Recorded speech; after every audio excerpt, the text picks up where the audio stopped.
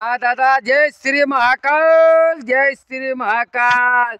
तो हाँ दादा, हमारा गाँव में पिपलिया बक्सू में शमशान घाट का दो बार का रुपया आएगा, दादा।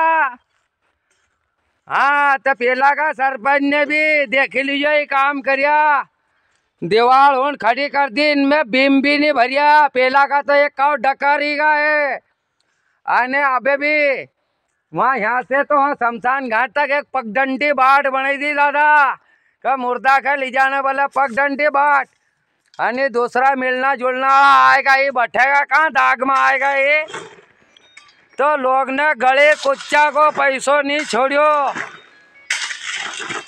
तो यार दादा, ये अब भगवान को मंदिर है, भोलेनाथ को रे दादा उन ये मैं तो पूरी तरह से काम कर दो, जो रे दादा। और हमारा गाँव का सरपंच साहब हीरिया।